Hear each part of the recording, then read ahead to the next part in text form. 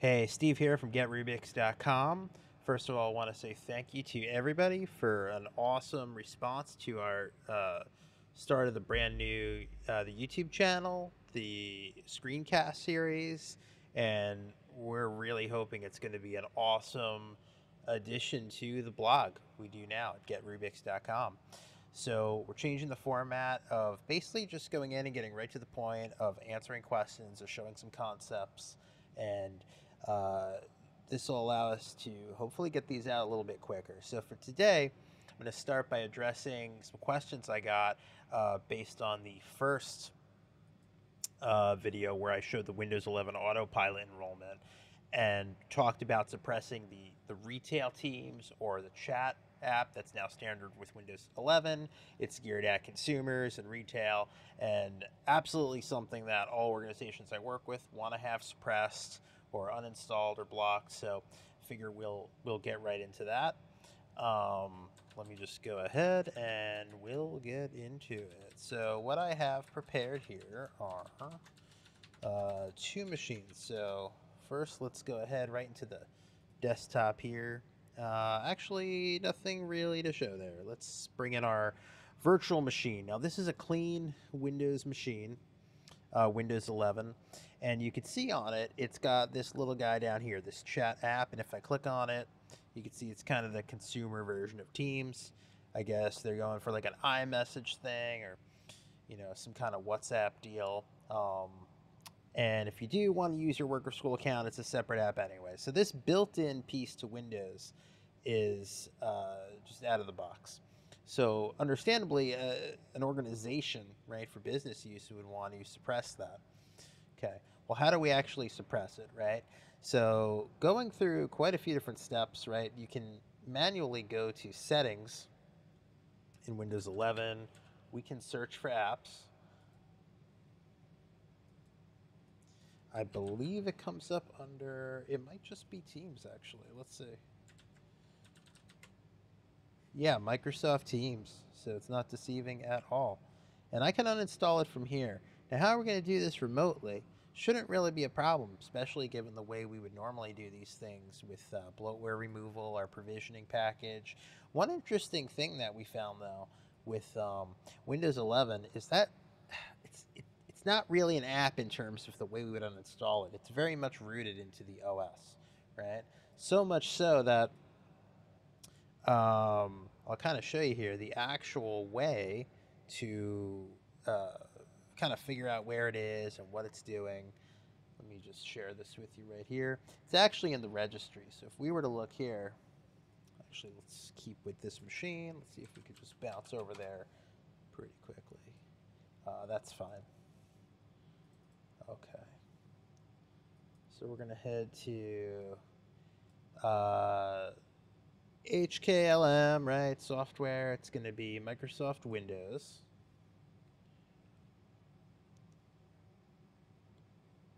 scrolling again. I mentioned that in the last video.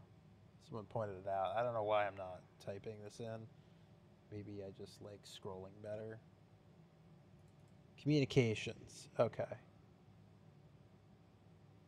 Okay, so there is a, uh, a registry setting we can add called Configure Chat Auto Install. And I'm actually going to flip for a second to show you one of our enrolled machines. This was similar to the machine I showed you last time uh, when we were testing the Windows 11 autopilot enrollment. And you'll notice here, um, I have the professional teams, the business one, but Teams itself, uh, that retail version is not on this box. And if, if we go searching for it, we're, we're not going to find it. Um, let's actually do that real quick.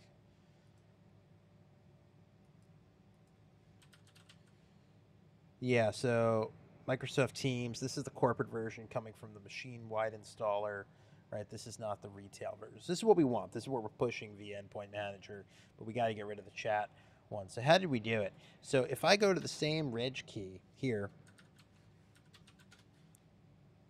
yeah, let's go ahead and look for that. You know what? We will type this time, just for kicks. Yep. Uh, current version communication. Should be, there we go. Okay. take a look at what we have here. Configure chat auto install. And we have that set for zero. So this actually, th this setting will prevent that retail version of chat from auto installing um, if it's set to zero. The only problem here, and we came across this uh, typically when we do something from Intune, like a PowerShell script, right? If we're going to add a registry, it's going to be run as NT Authority system. That's traditionally how the Intune management extension works. Uh, when you're uh, pushing a script or an application, it's how we test our apps. Uh, there's a write-up on it on the blog. I'll put a link to it so you can see what we're talking about um, when we talk about testing app deployment. But in this case, uh, that wasn't really it. One of the things we found, if we go ahead and look at permissions here, um, you're going to see uh, only it, it's trusted installer that has full control over it. Obviously, our users aren't, but if we look at system, system doesn't have control over this registry key. So, you know, eh, being able to run the script from PowerShell didn't work for us, and we found out why. So, right. So, what do we do here, right? How do we how do we take care of this? Um, so, obviously, we'd have to do some kind of script and uh, I'm going to show you this one here. Um, is this the correct one? Oh, you know what? Sorry, give me one second. Let's get the correct version here, actually. That would help if we did that. That's the thrill of the live video. Okay, so I want to talk a little bit about what we're doing here. It's not a long script, and we are using a task because um, we're going to do some elevation hopping, right? So trusted installer is very difficult to do. Um, so a few things, action and principal, right? And this is uh, parameters for registering a scheduled task. Our first task is really simple. We are calling the PowerShell program and we're passing through the argument uh, of basically adding this reg key, right? So the value configure chat auto install, the type is a D word. Um, uh, we're adding the uh, uh, decimal value as zero force. And the principal, we're actually setting it up as built-in administrators. Why are we doing this? We're doing this because we can't do it as trusted installer here. Calling it uninstall chat, and we're going to go ahead and register it.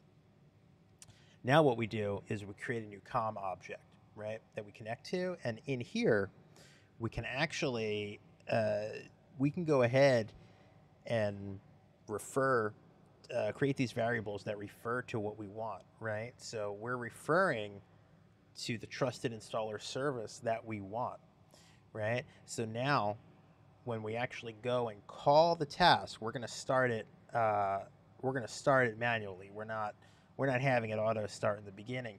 When we call it we can actually pass that user parameter through right? Because we're using the COM object. Um, so now we can essentially make that task run as the trusted installer, and that's going to give us the, the permission we need here to set this. Oh, that's our toast notification. Um, back to the script here, you can see that uh, one interesting thing, uh, and we have my engineer Jesse to thank for this. Uh, most of his answers, if you have something wrong with a script, are generally going to come from that you didn't let it sleep or rest. So we're giving it a quick start sleep before we kill the task. Uh, without this, the, it, it's going to stop doing the task as soon as it's before it's even run in most cases. So uh, we're going to run the task to add the reg key. We're going to go ahead and let the script sleep for five seconds, and then we're going to stop the task. And now all we have to do is unregister the scheduled task. Remember, we're still running this from system because that's where PowerShell is deploying it. Um, and that's it. Let's talk about where we're deploying this. Uh, we don't need Chrome. We need Edge. Okay. Devices. This is our endpoint manager environment. If I go down to scripts, there it is. Uninstall chat. You see it's very successful. We are running it as we're not running it under with the logon credentials, so it's running a system. It's running in 64-bit, and it's assigned to our device group. So what'll happen is during enrollment status, right? We've talked about this before. The scripts will run before the apps. So this gives me plenty of time to make sure the script is there way before the user logs in, right? And let's go take another look. So because that's there, right? I don't have the chat app. I only have Teams. And that's about it. I'm going to post a link to the script, right? So you can check it out and, uh, you know, hopefully make this work. I, I think it's interesting to know here. This is the first thing we came across in Windows 11 that was a little bit of a different context for us. Usually, like I said, it's it's the NT Authority system. So who knows what'll change both on the Windows client side with Windows 11 and an endpoint manager, but it's good now to have a way to, to kind of go through this. So, um, yeah, well, hopefully that was helpful. If you have any further questions, keep them coming. Uh, we have a pretty good list here of some stuff we're going to tackle in the next few screencasts. So, uh, you know, let us know and we'll address it if we can. Until next time.